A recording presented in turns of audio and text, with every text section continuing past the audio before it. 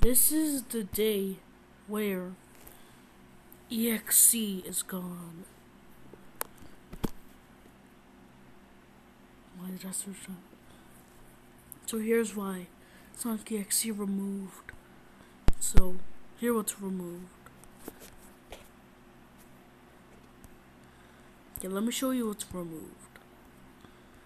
So, rest in peace, EXE.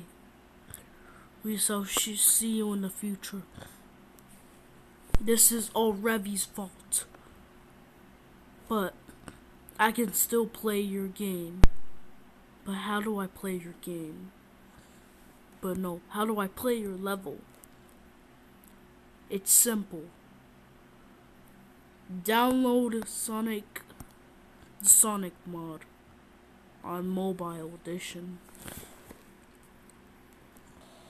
Revy is no longer the director, but I'll show you proof.